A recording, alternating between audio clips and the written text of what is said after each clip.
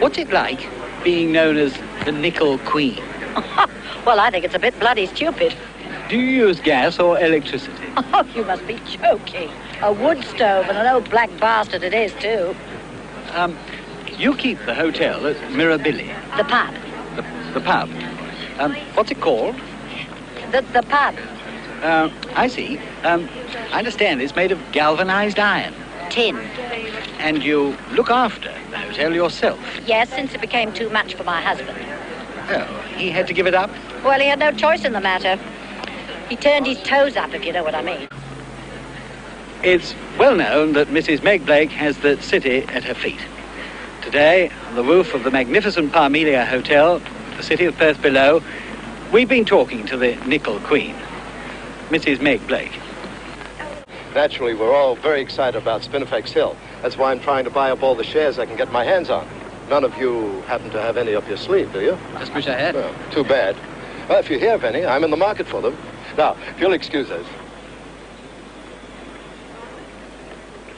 Two very dear friends of mine, Mr. and Mrs. Ernest Whitaker, Mrs. Margaret Blake. How do you do? Welcome to Perth, my dear. Wonderful interview. So refreshing to find someone so candid.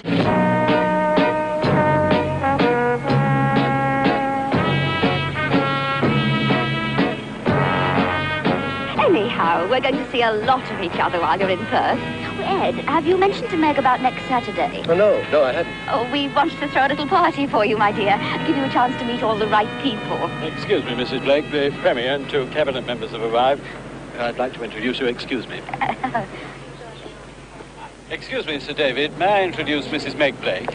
How do you do, Mrs. Blake? How do you do?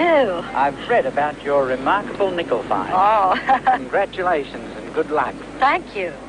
I'd uh, like you to meet the Minister for Industrial Development, the Honourable Charles Court. You've How do you certainly made uh, Spinifex Hill famous. Oh, And the Minister for Mines, the Honourable Arthur Griffith. How do you do, Mrs. Blake? how do you do? I, I, I do know something about your part of the world, and I know your hotel too. Oh, I had a few in the bar, eh? Yes, oh, just a few.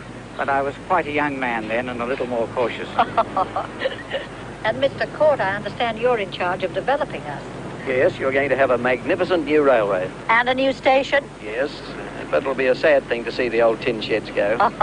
It's a pleasant change to meet a woman prospector, Mrs. Blake, particularly one looking like you. Oh, well, that's nice. You'll have to open our mind for us. Oh, with pleasure. We'll go down it together. Right, that's the date. Mrs. Blake, could we have a photograph, please?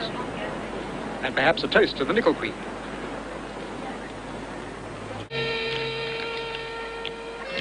Must have gone off her bloody rocker. The Nickel Queen.